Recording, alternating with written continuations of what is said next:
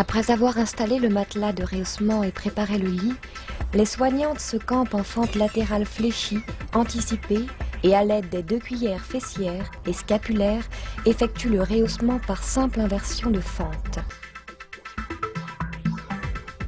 Ainsi, le rehaussement devient aisé et confortable.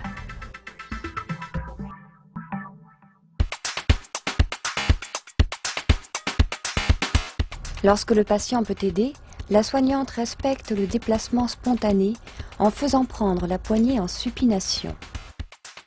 Le matelas de glisse facilite le rehaussement.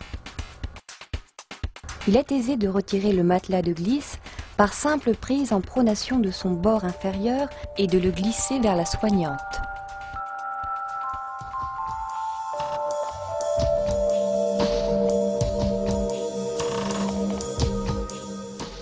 La taille du drap de glisse permet de prendre en charge la totalité du corps d'une personne dépendante.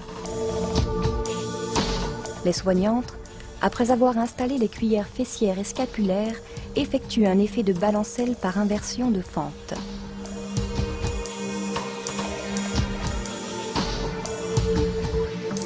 Le drap de glisse, plus petit, facilite le rehaussement du haut du corps lorsque le patient participe activement avec ses membres inférieurs. Il décolle sa tête et pousse sur ses talons.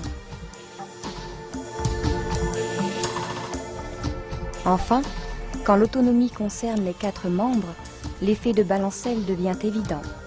L'intervention de la soignante reste logique et sécuritaire. L'économie d'effort apportée par l'aide technique concerne autant le patient que la soignante.